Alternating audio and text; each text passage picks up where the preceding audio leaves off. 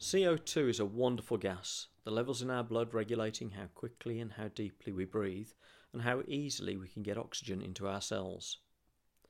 It's a simple gas. Too little CO2 and our patient stops breathing.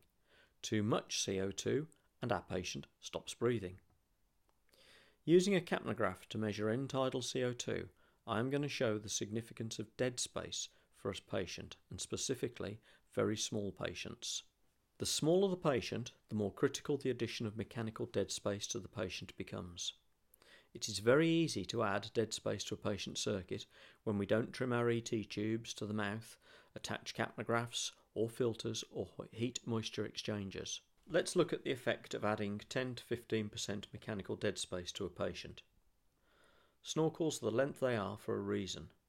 Make them longer and the harder it is for the diver to breathe, not because of airway resistance, but because of the potential for inspired CO2. Note the white inspired CO2 figure 0 in the top right hand corner of the monitor above the respiration rate in blue.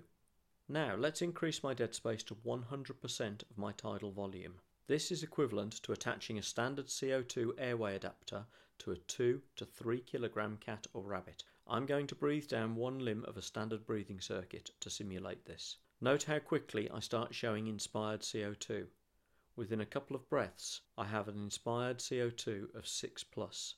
In anaesthesia, we could mitigate this by turning up the fresh gas flow a little.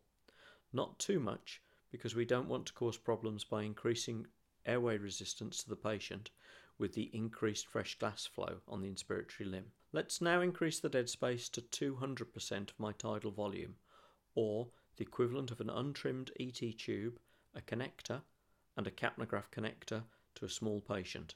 And let's see what happens. After just five breaths, the inspired CO2 is at 12 before starting to climb uncontrollably into the 20s.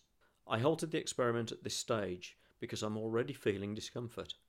I can taste the CO2, my chest is feeling tighter, and I'm struggling to control my breathing rate. Consider how a small unconscious patient would feel. In conclusion, the smaller the patient, the more critical excess dead space becomes if we want our smaller patients to wake up undamaged after surgery and anaesthesia.